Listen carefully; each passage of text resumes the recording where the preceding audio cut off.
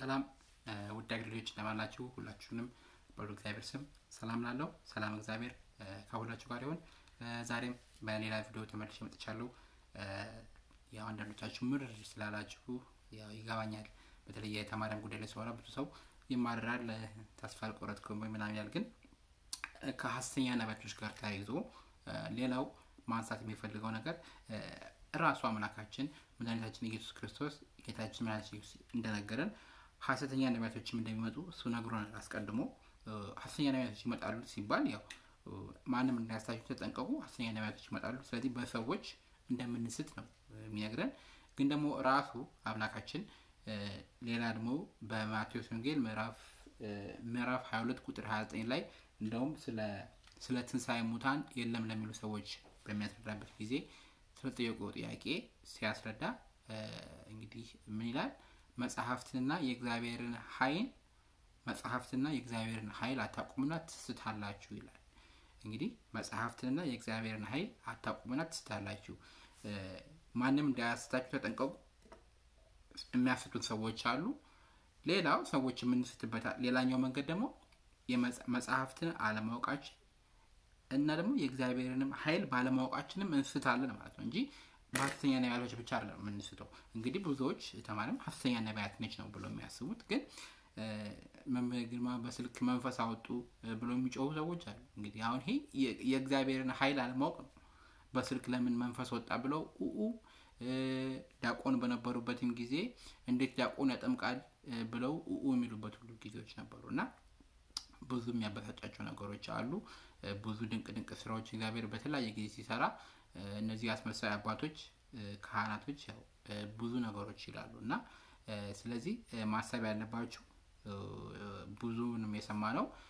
ብዙ የገዳም አባቶች በየጫካው በየዱሩ እያሉ እንዴት እሷ ተመረጠች፣ በዚህ ጋር ግን የጸጋ ስጦታ ልዩ ልዩ ነው ይላል እና እግዚአብሔር ያው ነገር የራሱ የሆነ ምክንያት አለው፣ የራሱ አካሄድ አለው። ሰውን አማክሮ አይደለም የሚሰራው እና ግን ሰዎች የሚስቱትም አንደኛው መንገድ በሀሰተኛ ነቢያቶች ብቻ ሳይሆን ልናስተውል የሚገባው አንድም መጽሐፍትን ባለማወቅ መጽሐፈ ሄኖክ እውነት ሚስጥሩ በትክክል ተገልጾልናል ወይ? ስንክሳሩ ስንክሳሩ ዝም ብሎ ነው የሚነበበው እንጂ የቀደሙ አባቶች በዚህ ዕለት ስቅለትን አከበሩ፣ በዚህ ዕለት ትንሣኤን አከበሩ እያሉ ግን ስንክሳሩና እህተ ማርያም ግን ገጥመዋል። እንግዲህ አስቡት እና እንዴት ተገጣጠሙ? እሷ ማክሰኞ ባረገችው እዛ ማክሰኞ እንግዲህ እሷ ማክሰኞ ዕለት እንደ እሑድ በቆጠረችው እዛ ተመሳሳይ ቀናቶችን ነው የምታገኙት እና ቢያንስ ቢያንስ ልክ ናት ብሎ እንኳን ማመን ባትፈልጉም ግን ጥያቄ አያጭርም ወይ? ታዲያ እነዛ ስንክሳሩን የጻፉት አባቶች የእግዚአብሔር መንፈስ አልማራቸውም ወይ? ከዛ በፊት ይጠቀሙበት የነበረው የቀን አቆጣጠር ከየት መጣ? ምክንያቱም ኢትዮጵያ ሶስት ሺህ ነው የሚባለው እንደውም ቤተ ማርያም ከዛም በላይ ነው እያለች ያለችው እንግዲህ እግዚአብሔርን በማምለክ ታዲያ እነዛ አባቶቻችን እውነት እግዚአብሔር መንፈስ አልመራቸውም ወይ? በዛ አካሄድ በዛ አቋጠር ሲሄዱ ይሄ ሌላ ጥያቄ ያመጣል። ብዙ ጥያቄ የሚያስነሱ ነገሮች አሉና እነዛን ጥያቄዎች ለመመለስ ለመመለስ ሳይሆን no no no ወደዛ አትሂዱ አይነት ነገር ነው። በቃ ለመሸፋፈን የሚደረግ ስራ ነው እኔ የማስተውለው እና እሷን ደግሞ በተለይ ሴትም ስለሆነች በቃ ድራሿን ለማጥፋት ነው የሚሰራው ስራ እና ያስቀናል። አሁንም ደግሞ በታሰረችበት ምንም አይነት የፍርድ ቤት ፍርድ ቤት እስካሁን ድረስ አልቀረበችም። ስለዚህ ይህ ሌላ ማሳያ ነው እና ዞሮ ዞሮ ፍቅር፣ ተስፋ፣ እምነት ያስፈልጋል እና ተስፋ ከሌለ ሰው ተስፋ ስለሚቆርጥ ብዙ ሰው ተስፋ ቆርጦ ተቆርጧል እና ግን ያው እግዚአብሔር ጊዜና ሰዓት አለው። የእግዚአብሔር ጊዜና ሰዓት እንጠብቃለን። ምንም ሰው የፈለገውን ቢሳደብ ማለት ነው። እና ስለዚህ አሁንም እየሳትን ያለ ነው በሀሰተኛ ነቢያቶች ብቻ ሳይሆን መጽሐፍትን ባለማወቃችን የእግዚአብሔርንም ኃይል ባለማወቃችን እንዴት በተራ ሴት በሞዴሊስት ይመጣል ብላችሁ ኡኡ አላችሁ። እና ይሄ በሌላ አማርኛ የእግዚአብሔርንም ኃይል እንዳላወቅን ያስረዳናል ማለት ነው። እና ብዙዎቻችን ያው ለብ ስለዚህ እየሳትን ያለ ነው በሀሰተኛ ነቢያቶች ብቻ አይደለም። እና መጽሐፍ ቅዱስን አንብቡት። ሰባኪ ብቻ አጠብቁ። ትራታችን ውስጥ ስር አንሸጉጠው እና እንጠይቅ፣ እንመራመር። የተነገረን ብቻ መቀበል አይደለም። ስለዚህ መጠየቅ ያለብን ይመስለኛል እና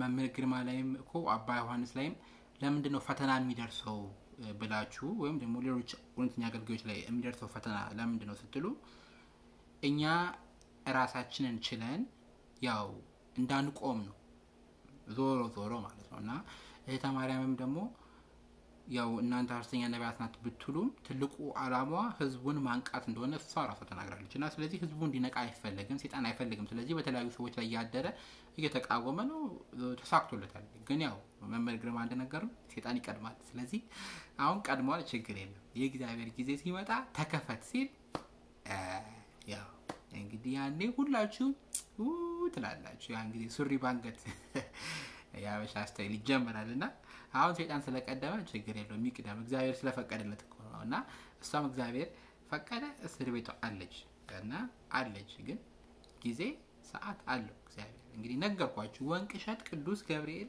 አባታችን ራእይ ካዩበት ሰላሳ አመት መጠበቅ ነበረባቸው። እንግዲህ ግንባታው እስኪጀመር አስቡት።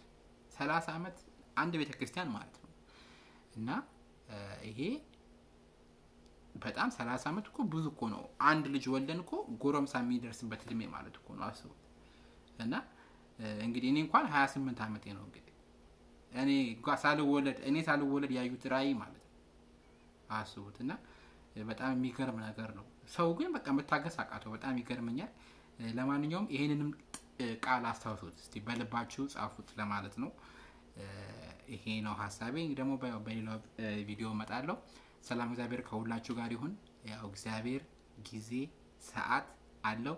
አሁን ሴጣን ስለቀደመ ምንም ችግር የለውም። እግዚአብሔር ደግሞ ሰዓቱ ሲመጣ ልክ ሰለስት ደቂቅ እሳት ውስጥ ተወረወሩ። እስኪወረወሩ ድረስ የሌሎች ጊዜ ነበር። ከተወረወሩ በኋላ የእነሱ ጊዜ ሆነ። ቅዱስ ገብርኤል መላኩ መጣ። በቃ ምንም ማድረግ አይቻልም። ዳንኤልም እስኪወረወር ጊዜ የእነሱ ጊዜ ነበር። ከዛ በኋላ ግን ታሪክ ደግሞ ተቀየረ። ስለዚህ እንደዚህ ነው ነገሩና በጣም ነው የሚገርመኝ። በቃ ሰው እውነትም እኔ በዚህ አጋጣሚ ማሳለፍ የምፈልገው ለእህት ወንድሞቼ ከዚህ በፊትም ለጣጠሹ ያለው ብዙ ጊዜ ምናልባት ልክ ሐዋርያት መንፈስ ቅዱስ እንደተሞሉ ሰባ ሁለት ነው ሰባ ስምንት ቋንቋ መናገር የቻሉበት ጊዜ መጀመሪያ የተናገሩት ምንድን ነው በመጨረሻው ዘመን ከመንፈሴ አፈሳለሁ። ወንድም ሴትም ልጆቻችሁ ህልም ያልማሉ ራይም ያያሉ ይላል። እና አሁንም እህት ወንድሞቼ እናንተም ነገ እግዚአብሔር ፈቅዶ መርጦ የሆነ ሚስጥር ብቃት ስላላችሁ ቅዱስ ስለሆናችሁ ሳይሆን እግዚአብሔር ስለፈቀደ የሆነ ሚስጥር ቢነግራችሁ እናንተም ነገ ያንን መልእክት ስታስተላልፉ ያው የሚገጥማችሁ ይሄ ነው። ትችት ስድብ ሴጣን ብቻ ነው ልክ እግዚአብሔር ስራውን ሲሰራ አሁን እኮ ያለው አስተሳሰብ እግዚአብሔር መስራት እንደማይችል ነው የሚታምነው እና እናንተም ይሄ ጣፈንታ መቅሰማቸው አይቀርም። ነገ እናንተም እግዚአብሔር ቸርነቱ ሆኖ ሚስጥር ሲገልጥላችሁ የተማሪያ ምንም ቅምሻ መቅመሳቸው አይቀርም ማለት ነው። እና ለማንኛውም መጨረሻው ላይ ዘመን ሀሰተኛ ነቢያቶች ብቻ አይነሱም። ይሄን ማወቅ አለባችሁ። እግዚአብሔርም ስራ አለው። እግዚአብሔርም የሚያስነሳቸው ሰዎች እንዳሉ ልናምን ይገባል የሚያስነሳቸው ሰዎች ደግሞ ግዴታ ቅድስና ውስጥ ንጽህና ውስጥ ያሉ አይደለም። እሱ ስራ ይሰራልኛል ስራ ትሰራልኛለች ብሎ ያሰበውን ማስነሳት ይቻላል። ምክንያቱም እኮ ለቅዱስም ለእነዛ ምኮ አባቶች ሀይል የሰጠ እሱ ነው። ስለዚህ ሀይል የሚሰጠው ሁሉም ነገር ያለው እሱ ጋር ስለሆነ ማለት ነው። እና ስለዚህ mind ኣችን already program ሆኗል። በቃ ፕሮግራም ስለሆነ ትንሽ የሆነ ግራ ገብተናል እና ለማንኛውም የእግዚአብሔርን ሀይል ባለማወቅም እየሳትን እንደሆነ አስተውሉት። ሰላም እግዚአብሔር ከሁላችሁ ጋር ይሁን። ያው በቀጣይ ቪዲዮ እንገናኛለን። ሰላም ሆነው